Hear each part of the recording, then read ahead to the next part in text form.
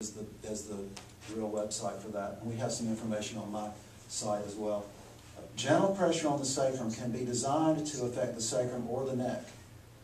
So what we would see if I wanted to affect the neck with a sacral adjustment would be, we would make pressure here, we would see respiration move through the spine, and then a spontaneous movement in the neck.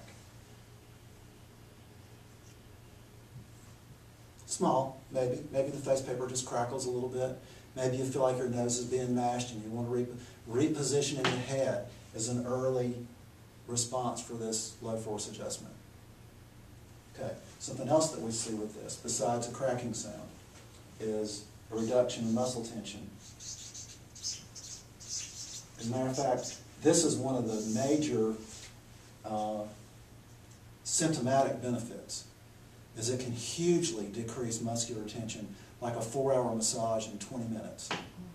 You know, it can really hugely decrease muscular tension. It can change the tone of the muscles. There's different kinds of muscle tension, but some of the muscle tension is caused by nervous system stimulation. You know, in other words, if you're stepping on a puppy dog's tail, it's going to bark, right? So you can squeeze the mouth of the puppy dog, or you can take the pressure off the tail. And that's what this gentle adjustment is like. And when you do that and you hit it just right, and that's what's causing that muscular tension, nothing is going to nothing is going to relieve that muscular tension like that because you've gotten to the source of the muscular tension.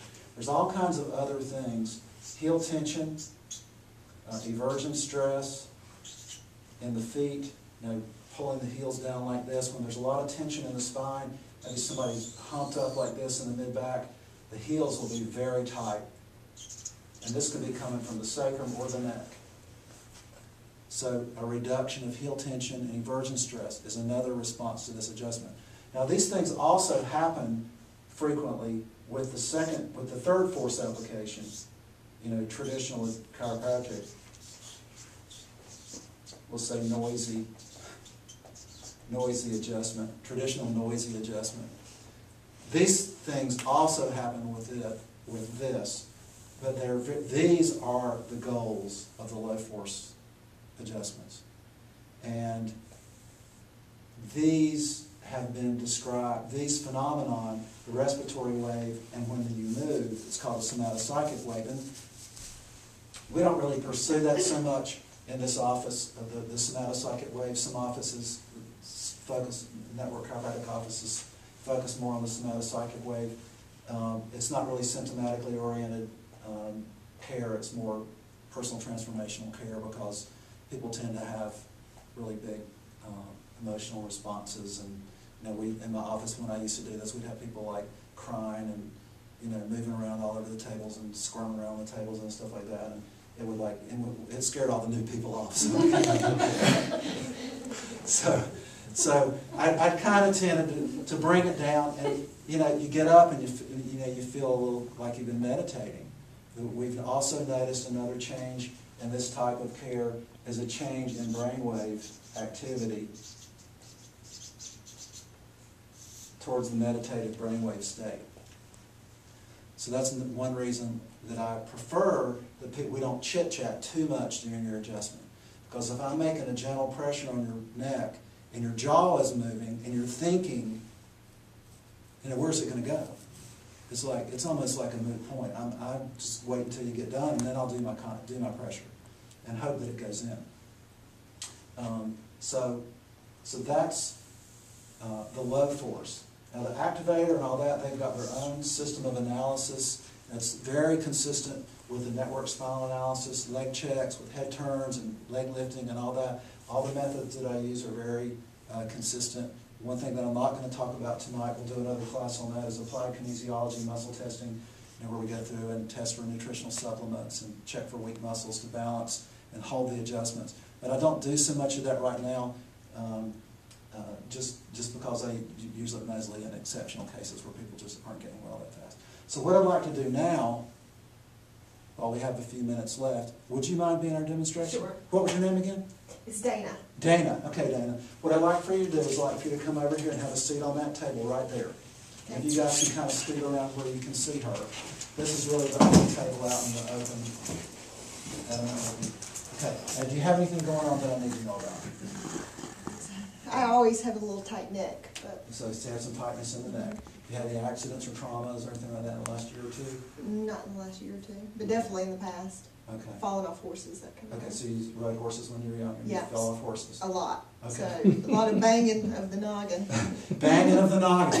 Okay, great. Well, first thing we want to do, if you don't mind, let's have you slip your shoes off. Okay. Let's have you lie face down, and I promise this will be uh, at least a gentle experience. I was gonna promise this will be a- a a pleasant experience, but who knows, you know? And you have, what kind of pet? What kind of what? Pet? I have a Inca, a German Shepherd. Okay. I can tell by the shape of your spine that you have a pet. She's got fur on her socks. Okay, now put your arms wherever they're, where they're, wherever they're comfortable for you. There's armrests down below where you can put them, are you comfortable with it, with them on your side like that? Yeah. I'm gonna move her here out of the way. Just gonna kinda get a full view here, is that okay? Mhm. All right, now, just looking at her, if you weren't a chiropractor or a massage therapist or anything, where would you say that she probably was tight? In the center of her back? In the center of her back, okay? You mean like here? Uh-huh. Okay. Does anybody see tension there? Seems a little bowed. Yeah, what about up here? This is what I'm going for here. Bottom of her neck. Yeah, right, right in here. Mm-hmm.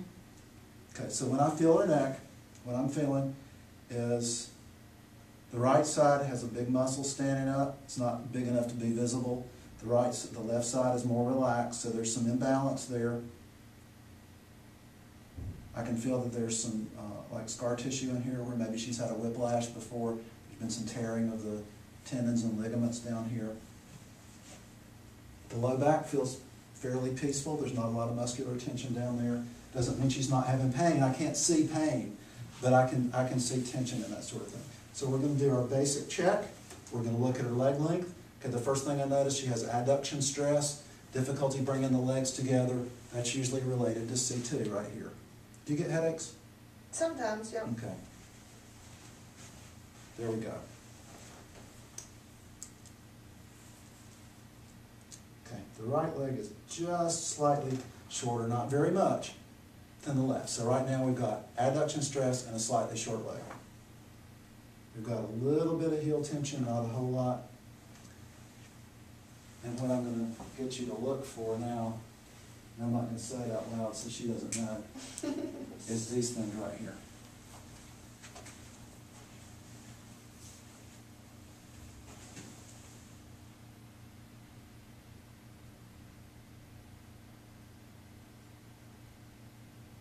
So not a whole lot of movement, moves to about right here. So this is where that, so that's kind of consistent, you were seeing mid-back tension, I'm seeing it up here, so this, everything is moving kind of up to about here, and this area doesn't really move.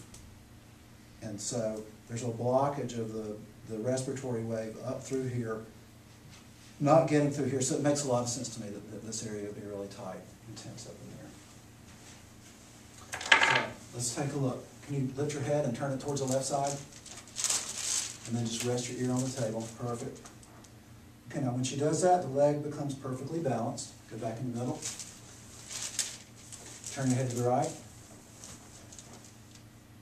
Okay, and it actually stays back in the middle, Sta- stays balanced that way too. Okay.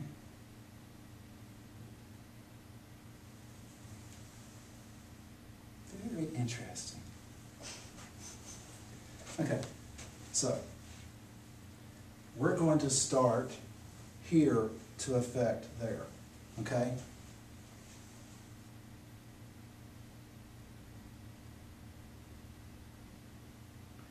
Just see what happens.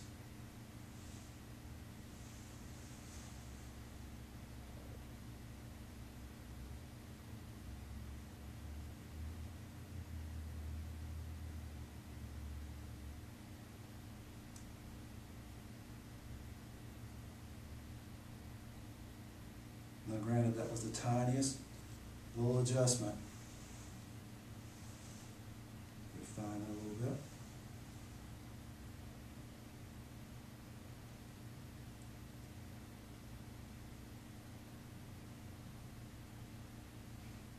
Okay, so what I'm noticing right now is that there's movement to here now. Mm -hmm. I saw that. So what that means is we're ready for a, any minute. Soon as that respiration hits there,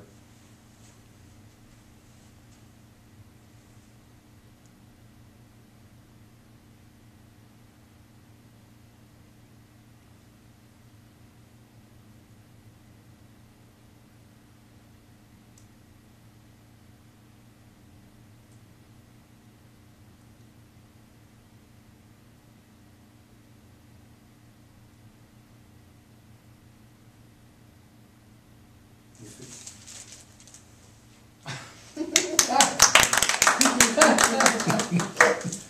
I knew that's what you were waiting for. I know. Okay, but you could see the breath actually moving Yeah, further Yeah, up. you Move could. And it actually deeper. moved into the neck. Yeah.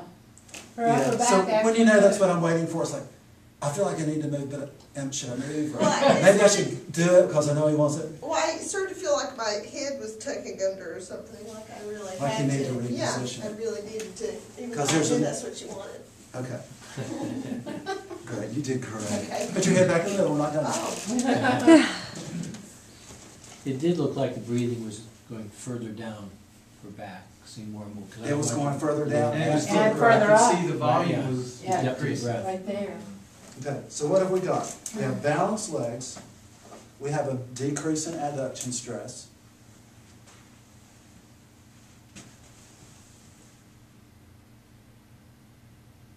We have the spine moving really nicely all the way up to here. Not bad for just one or two gentle pressures on the spine. Now, will she feel a difference? Go ahead and sit up. Now, will she feel anything different from that? Do you feel like Stacy or lightheaded or relaxed or anything? Yeah. So, you know, she may, you may not even know anything has happened, but something really profound has happened there. And that's the beginning of helping the nervous system to connect to itself and learn how to adjust itself. And oftentimes, you know, people will go home after an adjustment like that and not feel anything on the table, but a couple hours later, what you'll notice is, you know, well, my neck turns easier. Or you get out of bed the next morning, and you feel a loud pop in your low back or something like that. And you don't think, don't think it had anything to do with this necessarily. 'Cause So I should think of you You can do that. Great, thank you so much. Yay. You did great. But that's one of the things about the, the low force adjustments that's a little deceiving. You know, when you do the big crunchy adjustments that make a big poppy sound, people get instant relief. They feel something at least right there in that minute. And you may go out in the car and go, wow, I need to get, need to do it again. You know what I mean? Mm-hmm. 15 minutes later.